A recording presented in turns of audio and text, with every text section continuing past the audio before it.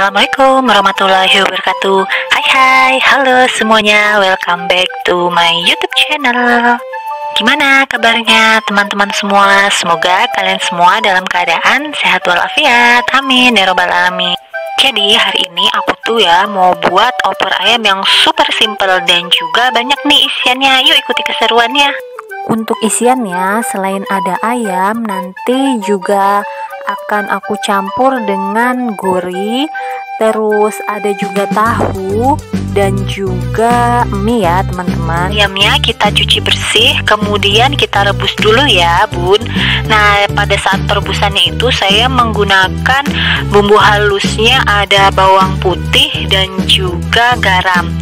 Setelah itu nanti tahu putihnya juga akan digoreng dulu ya sebelum kita masukkan ke dalam opor ayamnya saatnya kita tumis bumbu halus untuk sayur opornya di sini untuk bumbu halusnya itu ada bawang merah, bawang putih, kunyit, daun salam, serai, lengkuas. Nanti itu digeprek ya untuk lengkuas dan serainya.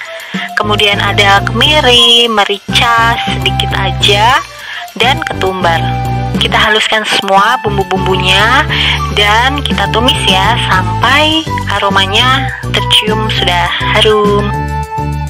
Untuk kalian semua yang baru aja hadir dan nemuin channel YouTube aku, jangan lupa ya di subscribe. Semoga channelku ini semakin berkembang dan semoga video-video yang ada di channel aku ini bisa bermanfaat ya untuk kalian semua.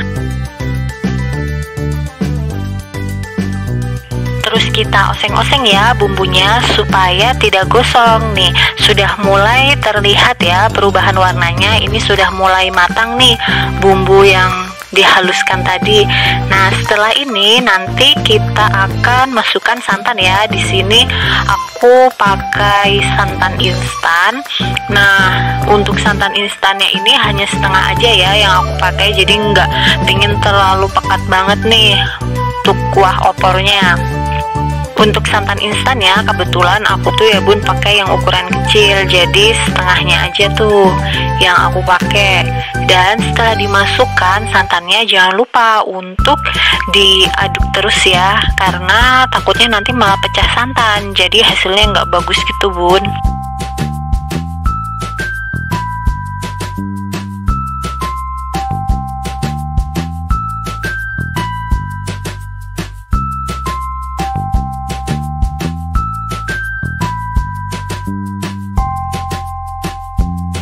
Nah setelah ini kita masukkan ya ayam yang udah direbus tadi. Lalu kita aduk-aduk sampai nanti santannya mendidih.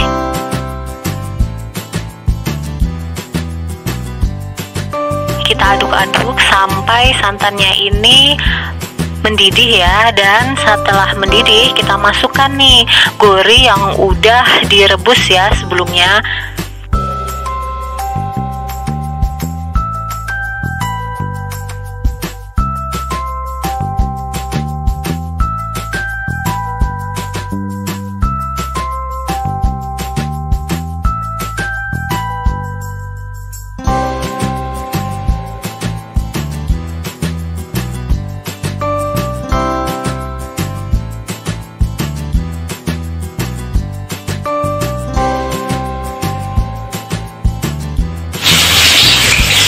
tahunya itu kita goreng terlebih dahulu ya bun ya. Jadi uh, nanti tuh teksturnya tuh lebih enak tuh pada saat dimasukkan ke dalam opornya setelah matang tahunya nanti kita angkat lalu kita tiriskan. Dan sesudah itu kita masukkan ke dalam kuah opornya ya bisa juga ditambahkan dengan mie jagung atau mie soun ya bun ya selera masing-masing ya. Tuh mantep kan isinya banyak. Ada ayam tentunya ya karena ini opor ayam. Kemudian aku campur dengan nangka muda atau kuri kemudian ada juga tahu putih yang udah digoreng nih. Dan yang terakhir nanti kita taburi dengan bawang goreng. Siap kita sajikan dan kita nikmati bersama lontong. Dan tidak ketinggalan dengan yang namanya kerupuk. Selamat mencoba ya. Wassalamualaikum warahmatullahi wabarakatuh.